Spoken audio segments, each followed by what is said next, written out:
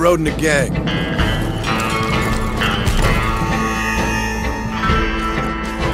They left me to die after I'd been shot. I left the gang after the gang left me. I tried to go straight. I did. Then I got me more trouble.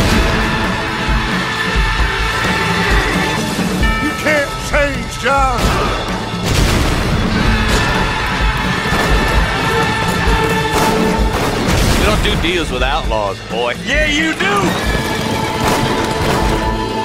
You are the bounty hunter, huh? Your country loves to make trouble in mine. Perhaps you come to hunt me, huh? You always did have a high opinion of yourself, John.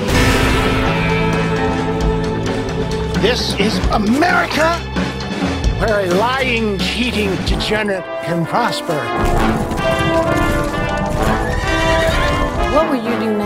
Now, Mr. Marston?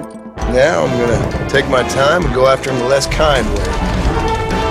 It's gonna be a bloody job. I don't know any other kind. I was right all along. The savage heart cannot be conventionally civilized.